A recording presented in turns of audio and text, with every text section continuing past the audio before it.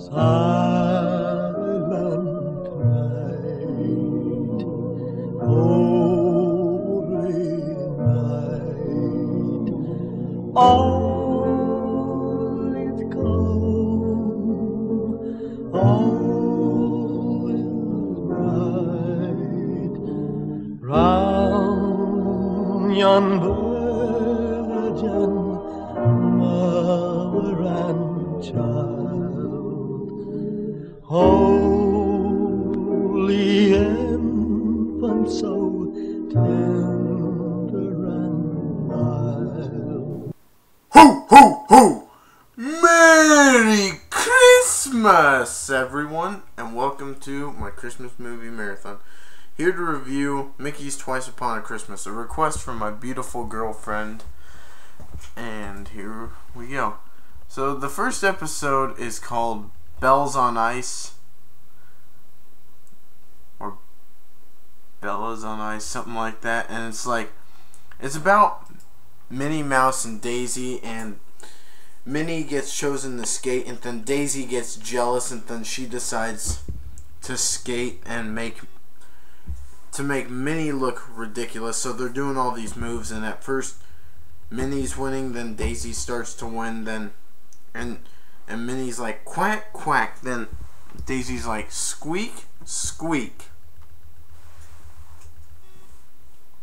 Then they get more competitive and more competitive and more competitive on and on.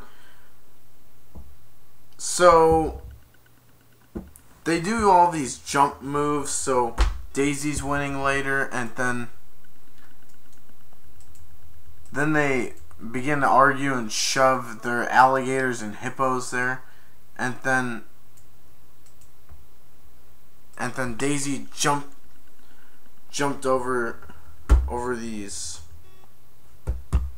over the hippos and then or over the alligators? Or something and then with open mouths or something with their alligators open mouth and then I think Daisy or Minnie did the same but she did she had the hippos hoist them up or the alligators hoist the hippos up something like that. And then she jumped blindfolded landed on a bell and then fell and then Daisy felt bad, and then Minnie started to cry, and then Daisy went over to check up on her to make sure she was okay. So she was, and then they be, then they made up and became best friends again. They are best friends, I think, and then they were they patched everything up. All right, the next episode or the next part is Christmas Impossible. This one focuses more around Huey, Dewey, and Lou. Louie, um, Donald Duck's nephews. Donald and Mickey were in the first episode as well. This one's about how bad these three acted the whole time, and and they were taking a.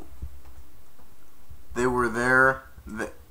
They had misbehaved so bad, like broken windows, put water and Uncle in Donald Duck's car and the water spewed out and everything. They did worse stuff, flushed the toilet, and Donald has scorching water coming out, and there was more stuff that they did. And then they went to Santa's workshop to put themselves on the nice list. Um, they wrecked everything, so it was worse. But then they helped puff up they help clean up their mess in the end, like puff up balls and everything, and stack everything. Help help out with toys, etc. And then they had Santa's key, but then they took that one. They gave it back to Santa, and then they they saw the janitor clean, and then they went to Duckburg. They weren't on the list, but then they put Scrooge on the list, Uncle Scrooge. But then they went back home like they had been driven by the truck and flown back by the plane like they were on the way there. They mailed themselves to the North Pole, came back and said, Hey, the box said fragile. And then there were more presents there because they helped clean up the mess, so Santa rewarded them with presents, and Uncle Scrooge got his little um got his bagpipe, and then Donald Duck got Donald got his um got a big book of manners for Christmas. Then there's Christmas Maximus.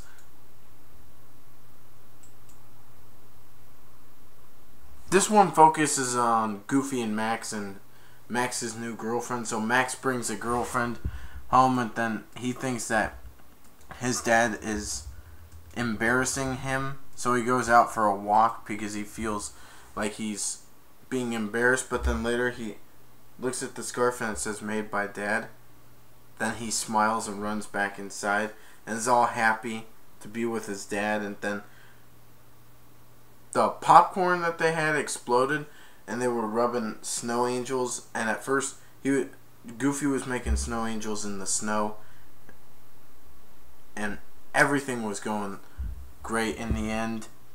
It wasn't so great at the beginning. And then the next one is Donald's gift. This one's more about Donald. And he wants hot he, he just wants peace and quiet hot chocolate and he hears everything. Like singing sing everyone singing the song We Wish You a Merry Christmas and a Happy New Year and it's driving him crazy.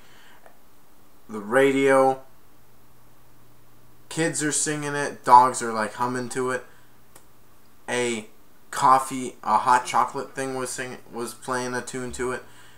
Coins, everything, etc. And Donald just couldn't take it anymore. That he just then these toys were singing it, and he destroyed the toy in front of everyone, and everyone got pissed off at him. Then they said, "For crying out loud, where's your Christmas spirit?" Never seen him before. Then, then they said,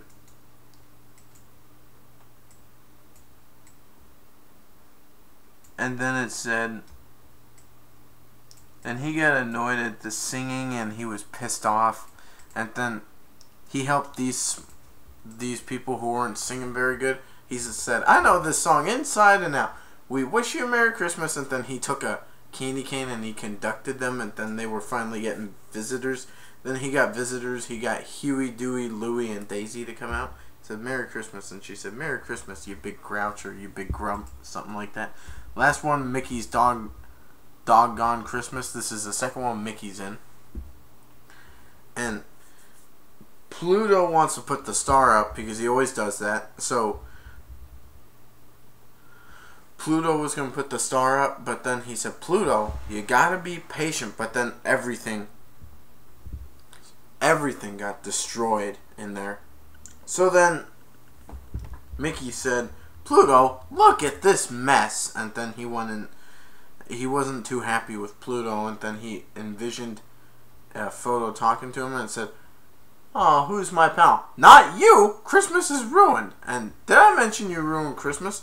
Well, stay out! And then he ran away, took the collar off, and then left, and then he went to the North Pole.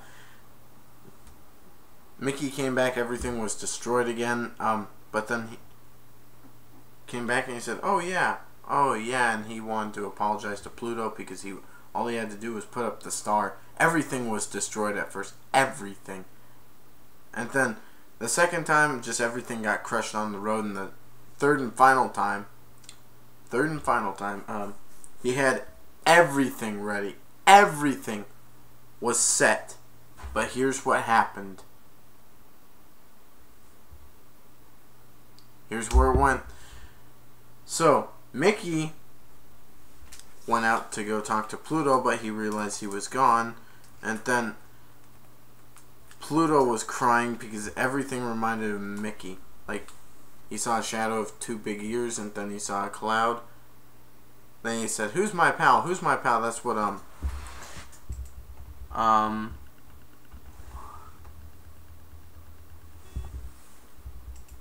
That's what Donner said, and then Donner said, "I wonder what he's thinking," because he called him Murray. But then Santa heard about heard about Pluto, Mickey was handing out flyers. One said, "Not interested, buddy." One took it, or "Not interested, pal." One person took it, crumbled it, and threw it. And then this other lady was talking to her, to her daughter, not looking at the flyer. And then, and then he showed the picture to Santa, and he didn't smile. And then Pluto was crying, and he said, "What have I done wrong?" Oh, Donna, you haven't done, you've done nothing wrong, or you haven't done anything wrong. huh? Pluto's just homesick. Who's Pluto? I think he's Murray.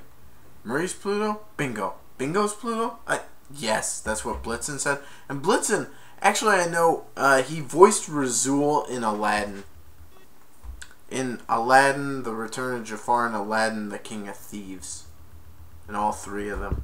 And then he came back and he said, ruff, ruff, ruff. And he said, Pluto? And then he came home and then he jumped and then he said, Who's my pal? Who's my pal? That's right, you are. And he started petting him. And then the plow road, the plow came and he said, Oh, hiya, Mick. Goofy? That's me. So, what are you guys here for? We're here to help you find Pluto. And then he went, ruff, ruff. We found him. Yay. Huey, Dewey, Louie, Donald, Daisy, um, Goofy, Max, Minnie, Mickey, and Pluto all were at that party. All ten of them. If I'm leaving anyone out, oh well. I just remember them being there. Well, anyway, stay up to date and subscribe. Stay tuned for my Christmas movie marathon. It should be ending on the 25th. So I got about this one and five more probably. I'm trying to get up to 25. When I counted, it said I was one short, but then when I went to my video manager, it said I was bang on course with these. Alright. Stay up to date and subscribe. Alright. Bye. Peace.